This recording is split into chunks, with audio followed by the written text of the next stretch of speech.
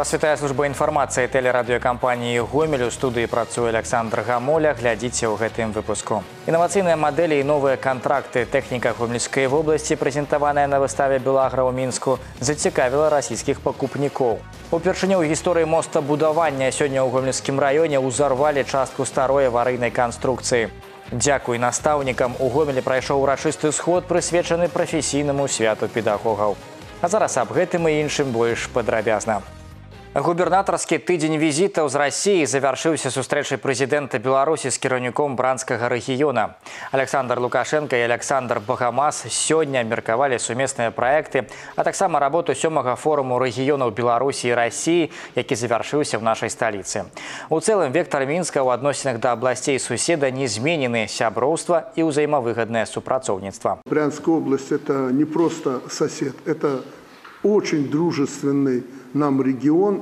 где живут ну, практически люди, ничем не отличающиеся, абсолютно ничем от белорусов. Мы не отличаемся от вас, вы от нас.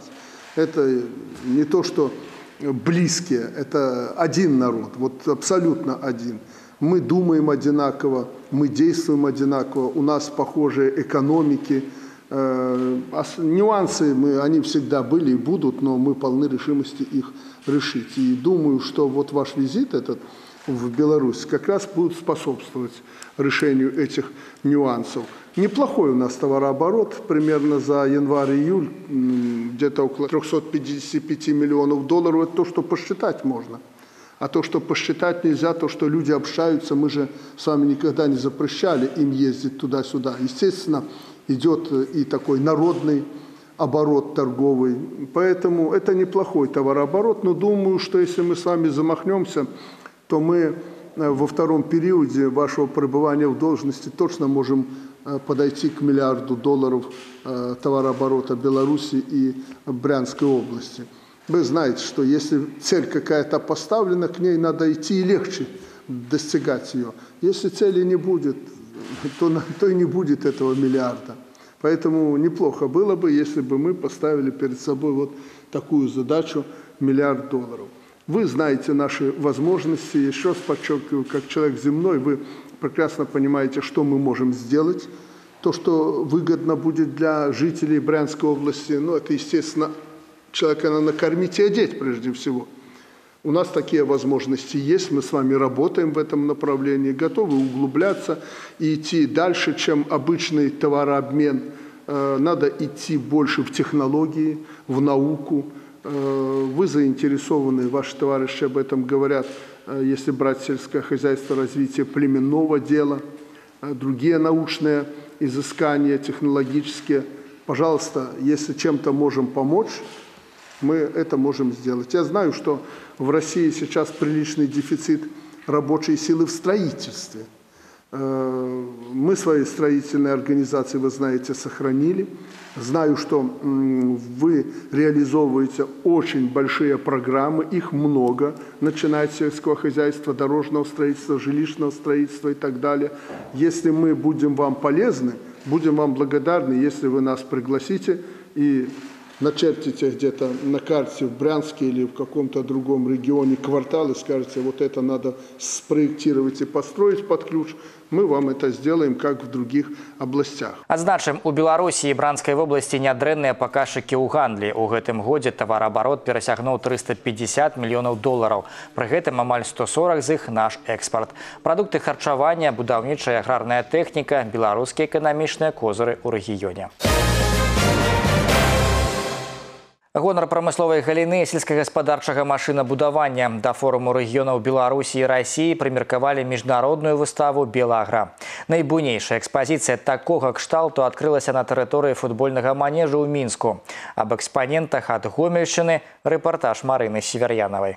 Да прыезду афіцыйнай дэлегацыі больш як дзве гадзіны. Здавалася, за гэты час можна абысці ўсе экспазіцыі. Але плошча для Белагра унутры манежа і тэрыторыя звонку настолькі неабдымныя, што разглядаць выставу можна дзень напролёт. На ўваходзе выстава гомсельмаша, два з сямі прадстаўленых агрэгатаў, інавацыйныя мадэлі. Зернеўборачны камбайн для фермерскіх гаспадарак GS200 і кормаўборачны FS 450, прызначаны для гаспадарак з вялікай колькасцю буйной рагатай жывёлы. Зараз абодва ўзоры на стадыі выпрабаванняў, якія працягнуцца і пасля ўдзелу ў выставе. Спыняемся побач з GS200. Магчыма, у наступным годзе камбайн можна будзе ўбачыць і на палетках. Данная модель, мы рассчитываем, что она позволит завоевать нам новых покупателей в странах Африки, Средней Азии, в странах СНГ, таких как Таджикистан, Туркменистан, Армения, Азербайджан. То есть там, где, ну, скажем, мелкоконтурные поля и, соответственно, есть необходимость в таких машинах. Сельгасмашынабудаванне на Белагра прадстаўлена і прадпрыемствамі гомель аблаграсервісу. Так свае экспазіцыі ў мазыр тэхсервісу, светлагорскага аграсервісу, гомель аблагракамплекту і калінкавіцкага рамонтна-механічнага завода. На выставачных пляцоўках тэхніка і жывёлагадоўчае абсталяванне. Гэта новыя ўзоры, якія толькі-толькі з поспехам справіліся з тэхнічнымі выпрабаваннямі і зараз пастаўляюцца на беларускі і расійскі рынкі. Вось адна з навінак гомель аблаграсервісу. Техсервис представляет на выставке Белагра сегодня это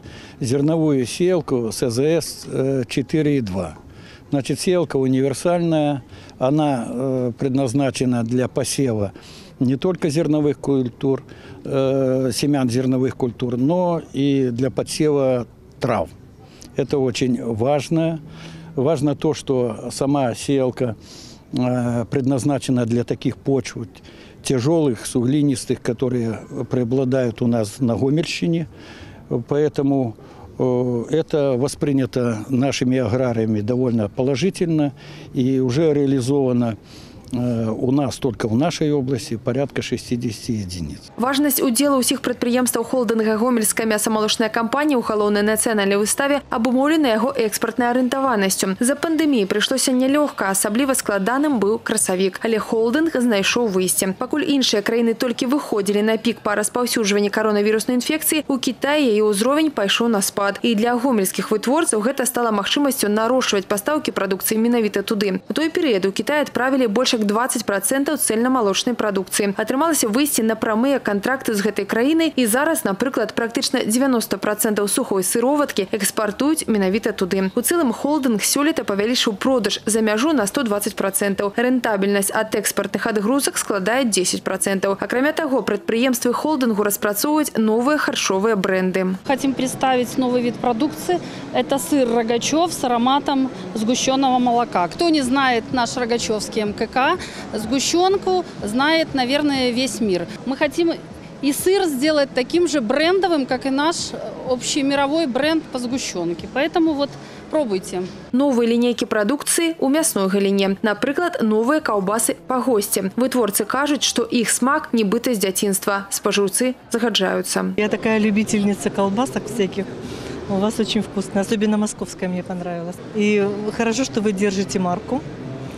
По-прежнему все очень вкусно. Удачи вам всем. За гадзіну да завяршэння першага выставачнага дня Белагра наведвае дэлегацыя на чале са старшынёй гомельскага аблаканкама Геннадзем Салаўём і губернатарам Бранскай вобласці Александром Багамазам. Асаблівую цікавасць у расійскага боку выклікаюць новыя мадэлі сельскагаспадарчага машынабудавання. Кошт, магутнасць, параўнанне з еўрапейскай тэхнікай. Прэзентаваць прамысловы патэнцыял рэгіёна адказна. Гэта залог новых узаемавыгадных контрактаў. Наша задача сегодняшний день показывать то, что мы производим, область наша промышленная должна показывать тем, чем занимается. Особенно то, что оборудование для доильных э, залов, оно необходимо. Сейчас разрабатываем новый проект карусели в следующем году реализуем на территории нашей области. Поэтому это для продвижения на рынок России, потому что нас важно не зацикливаться на одном регионе, в частности нашей области или других регионов. Поэтому мы это анонсируем. То, что сегодня наши комбайны работают в плане и газомоторные на территории области, и мы должны применять, их дальше продвигать на территории России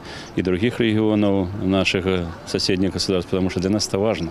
Потому что от этого зависит благополучие предприятий, в том числе уровень заработной платы. Новая сельгастэхніка абсталявання, якія вырабляе прамысловы сектар гомельшчыны, цікавая для аграрыяў браншчыны. Гэтым абумоўленыя такія падрабязныя дыялогі губернатара расійскага рэгіёна з беларускімі спецыялістамі побач з кожнай экспазіцыі. Новыя кантракты дакладна будуць, упэўнены Александр Багамаз. Поразила та же техника или то тоже оборудование для мощно-товарной фермы.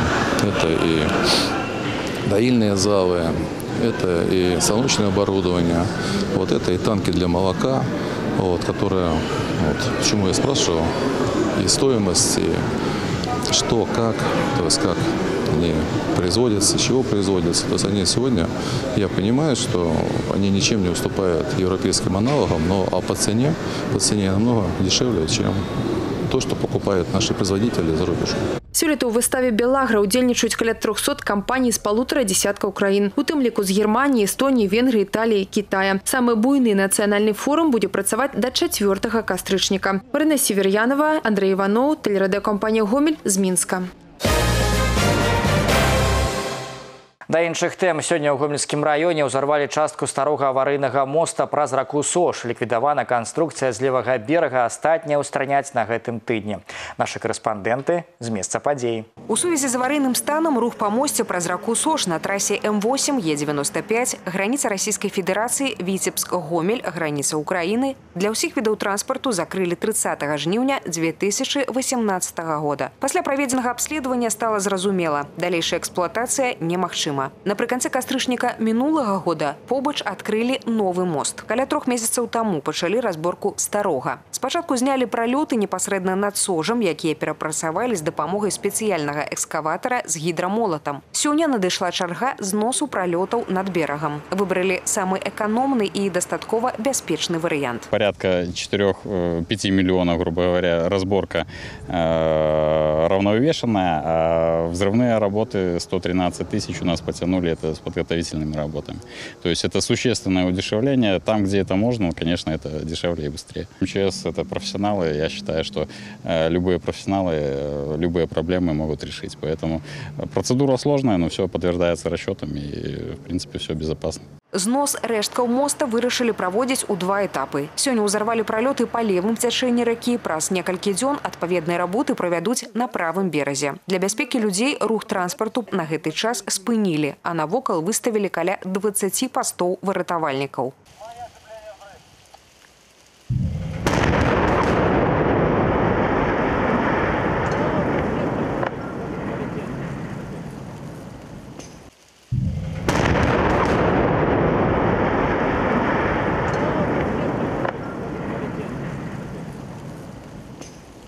Специалисты Республиканского отряда специального назначения МЧС провели демонтаж э, аварийной части пролета моста через реку Сош. Э, взрывотехниками МЧС вначале был э, проработан э, сам проект по проведению взрывных работ, был обследован данный объект, и затем были уже непосредственно проведены взрывные работы. На самом деле э, работа была выполнена с ювелирной точностью, потому что э, в непосредственной близости находился новый строение, новый мост, а также э, жилые дома населенного пункта. Жалезабетонныя рэшткі, якія ўтварыліся пасля выбуху, у бліжэйшы час убяруць і перапрацуюць на адходы, якія можна будзе выкарыстоўваць. Што тычыцца часткі апор, якія засталіся, то іх закансервуюць. Не выключана, што яны стануць асновай для будаўніцтва новага моста. Аднак, калі пачнуцца адпаведныя работы, пакуль дакладна невядома. Железобетон, который упадет, будет утилизирован, и пока больше ничего не будет происходить. Но в перспективе на этом месте опоры, основание опор останется, фундаменты. В перспективе строительство нового объекта на, старых, э, на старом основании. Олег Сенцюров, Ольга Коновалова, Валерий Гапанько, телерадиокомпания «Гомель». Дарагім настаўнікам прысвячаецца. У гомелі распачаліся святочныя мерапрыемствы да прафесійнага свята педагогаў. Так гарадское ўшанаванне прайшло напярэдадню абласным доме навучэнцаў і работніка устаноў прафесійнай адукацыі. Урачыстасці наведала Ганна Каральчук. У фае абласнога дома навучэнцаў і работнікаў профтэхадукацыі святочна і шматлюдна. На ўваходзе гасцей сустракае аркестр, далей розныя фотавыставы. Яны распавядаюць пра лепшыя гомельскія педагагічныя калектывы і прафесійныя дынастыі. Дарэчы, сярод настаўнікаў шмат тых, хто лічыць сваю прафесію прызначэннем і прысвяціў ёй усё жыццё. Вольга Борсук у дашкольнай адукацыі працуе, напрыклад, 26 гадоў. В дошкольное образование я пришла в 1994 году в качестве воспитателя. Свою работу, свою профессию очень люблю. Э, В дошкольном образовании не бывает случайных людей. Остаются работать только те, кто действительно предан детям и предан своей профессии. Без любви к этим малышам, с открытыми глазами, полными доверия, э, просто невозможно работать в дошкольном учреждении. Пасля памятных здымкаў на фотазонах гасцей запрасілі ў залу на святочны канцэрт дзякуй настаўнік. У ім прынялі ўдзел кіраўніцтва гомельскага гарвыканкама, савета дэпутатаў і галіновага правкама. Лепшых педагогаў абласнога цэнтра ўзнагародзілі граматамі, падзячнымі лістамі і падарункамі за выдатныя дасягненні іх вучняў. Так, напрыклад, сёлета 18 выпускнікоў атрымалі стабальныя сертыфікаты па цэнтралізаваным тэсцірованні. Возможно, только со временем мы начинаем понимать и осознавать, что именно учитель, именно наш педагог а, заложил в, наш, в нас уверенность, заложил оптимизм и заложил все самые добрые качества и чувства для того, чтобы правильно оценивать ситуацию, правильно на нее реагировать, а самое главное – уметь любить. Любить свое дело, любить свою семью, любить свою родину и любить людей. Ушаноўванне лепшых педагогаў вобласці пройдзе заўтра ў абласным грамадска-культурным цэнтры, а ў нядзелю настаўнікі змогуць сустрэць прафесійнае свята ў коле сям'і. Ганна Краячук, Васіль Асіпцоў, тэлерадыёкампанія «Гомель».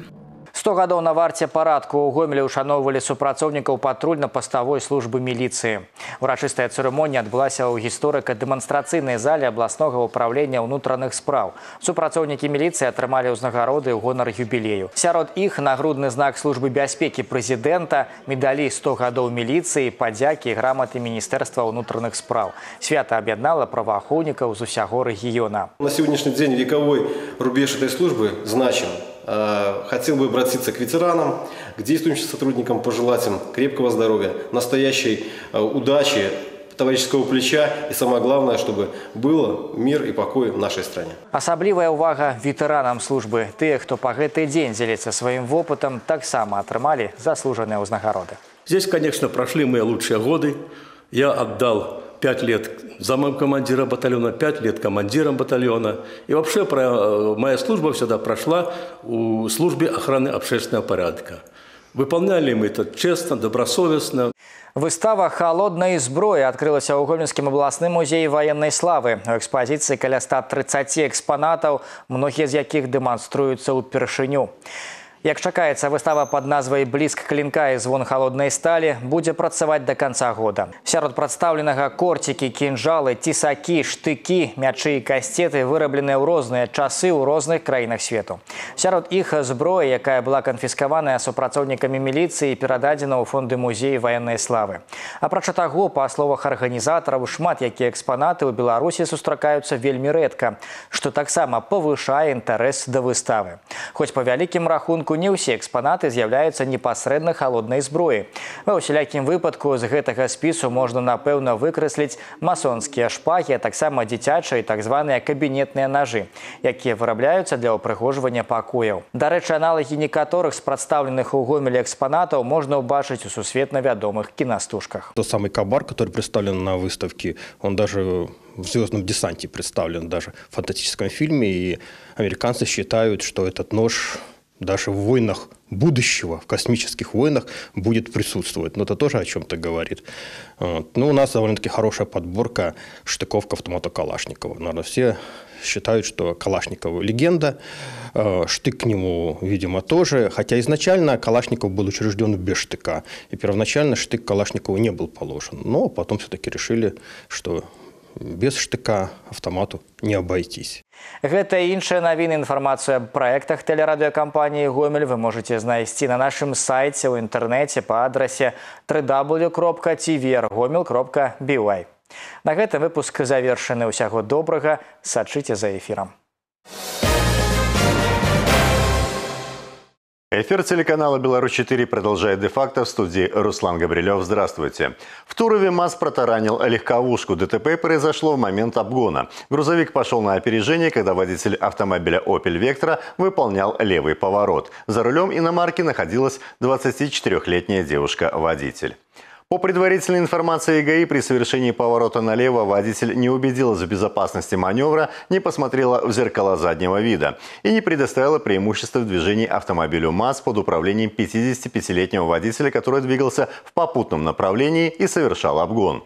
В ДТП девушка получила телесные повреждения и была доставлена в хирургическое отделение. Согласно правилам дорожного движения, при осуществлении маневра необходимо заблаговременно подать сигнал светового указателя соответствующего направления в случае его неисправности либо отсутствия, а также при включенной э, аварийной сигнализации рукой. Э, При этом необходимо убедиться в том, что действия безопасны и не создадут э, угрозы безопасности для других участников дорожного движения. Транспортная инспекция провела проверку по факту смертельного ДТП с участием такси в Будо-Кошелевском районе, где водитель сбил велосипедиста. Оказалось, мужчина работал без выходных и у него не было допуска к участию в дорожном движении. Наезд произошел 2 августа на 9 километре автодороги Будо-Кошелева-Уваровича-Калинина. Таксист и велосипедист двигались в попутном направлении. В результате ДТП велосипедист скончался на месте происшествия. Транспортная инспекция выяснила, что перед выездом на линию не проводился обязательный контроль технического состояния автомобиля и предрейсовый медицинский осмотр. Транспортное средство не имело разрешения на допуск к участию в дорожном движении, также не было организовано прохождение планового техобслуживания авто. У водителя отсутствовала медицинская справка, а на момент ДТП он не соблюдал режим труда и отдыха. Продолжительность рабочей смены составила более 12 часов. При этом услуги по перевозке пассажиров оказывались более 6 дней подряд без выходных. Назначены штрафы, выданы предписания. Рецидивиста, который специализировался на кражах из подвалов, задержали сотрудники милиции. Подвальный вор попался с поличным после того, как попытался в очередной раз продать с рук краденое имущество.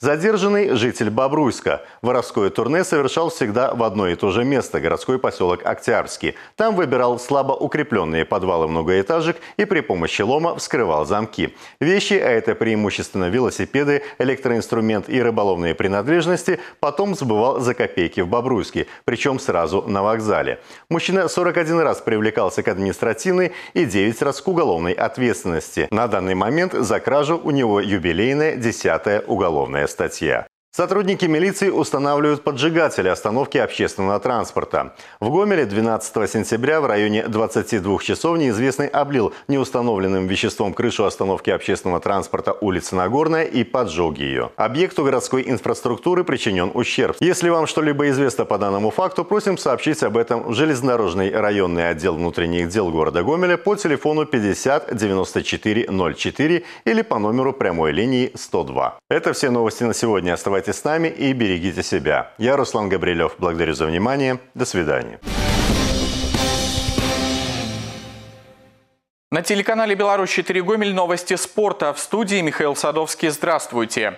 Завтра пройдут очередные поединки чемпионата Беларуси среди команд экстралиги. Хоккейный клуб «Металлург» сыграет на выезде с «Динамо Молодечно». Гомель поедет в гости к Неману. Стартовый свисток обоих матчей прозвучит в 19.00. В эти выходные пройдет третий тур женского чемпионата Беларуси по волейболу. 3 октября Мозырская «Жемчужина Полесья» встретится с «Атлант Баргэу». Матч начнется в 16.30. Напомню, сегодня должна была состояться первая игра четвертьфинала Кубка Беларуси.